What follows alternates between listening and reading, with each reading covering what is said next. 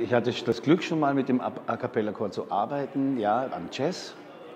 Und äh, damals wie heute ist es so, dass mich die, die Couragiertheit und, und die, äh, ja, das Gruppengefühl und, und die Dynamik, die so ein Chor entwickelt, die die Menschen entwickeln, die, die sonst nicht gewohnt sind, auf einer Bühne zu stehen, das Stück dann so mit Leben zu erfüllen, dass, dass man denkt, ja, das sind eigentlich Leute, die das immer machen.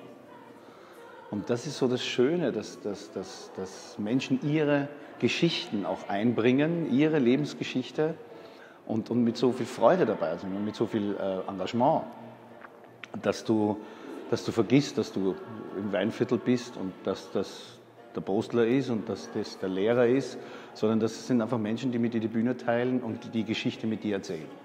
Und das gelingt dem A Cappella immer wahnsinnig gut.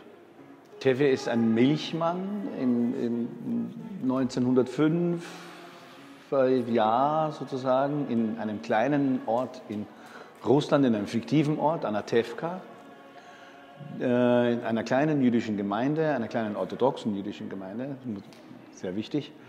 Ähm, er ist sehr gläubig, er ist auch sehr belesen. Er gibt allerdings die Worte so ein bisschen in seinem eigenen Sinne wieder. Er ist ein Mensch mit viel Humor, also ein Mensch mit viel Herz. Und äh, diese beiden Sachen machen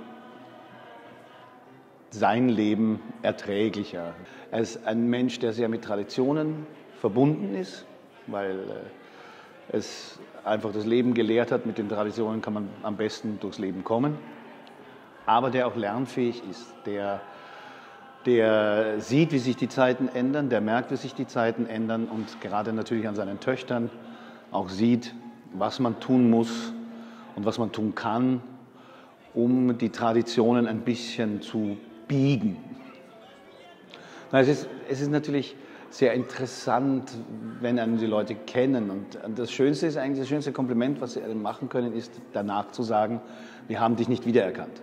Weil dann hat man die Rolle erfüllt dann hat man die Rolle mit Leben erfüllt. Natürlich wird es immer, es ist ja immer so im Schauspiel, dass du viel von dir selber hergibst, viel von dir selber her zeigst. Und ähm, da ist es dann natürlich schön, wenn die Leute sagen, ah, so kenne ich ihn oder so kenne ich ihn. Ah, ja, das ist er, der Bergamot aus Oberstdorf. Aber trotzdem die Figur Tevier voll erfüllt und voll die Geschichte heranträgt.